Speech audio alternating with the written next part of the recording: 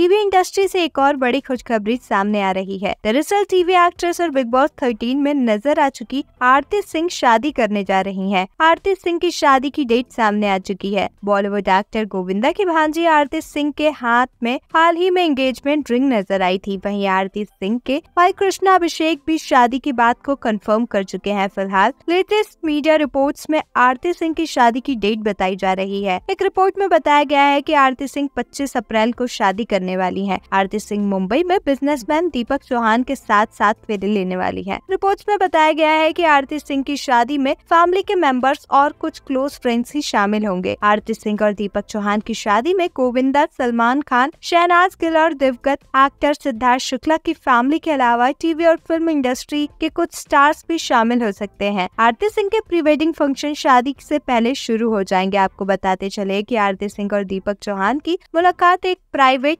Match makers के ज़रिए हुई थी। आरती सिंह की शादी की डेट सामने आने के बाद उनके फैंस काफ़ी ज़्यादा खुश हो गए हैं और उन्हें सोशल मीडिया पर बधाइयाँ भी देते हुए नज़र आ रहे हैं। आरती सिंह की करियर की बात करें तो वो काफ़ी साल से टीवी इंडस्ट्री में एक्टिव है। आरती सिंह गृहस्थी उत्तरन उड़ान, परिचय, ससुराल सिमर का वारिस सहित तमाम टीवी सीरियल्स में काम कर चुकी है। आरती सिंह ने साल 2019 में सलमान खान के popular reality show Bigg Boss 13 में भी पार्ट लिया था। वो टॉप फाइव में भी पहुँची थी। इस सीज़न को सिद्धार्थ शुक्ला ने जीता था। आपको बता दें कि आरती सिंह सोशल मीडिया पर काफ़ी एक्टिव रहती है और अपनी फ़ोटोज़ और वीडियोस फैंस के लिए शेयर करती हुई नज़र आती है। वेल आप आरती सिंह की शादी को देखने के लिए हैं कितने ज़्यादा एक्साइटेड हमें कमेंट्स में ज़रूर बताएँ। ऐसे ही अपडेट्स के लिए हमारे चैनल को सब्सक्राइब करें।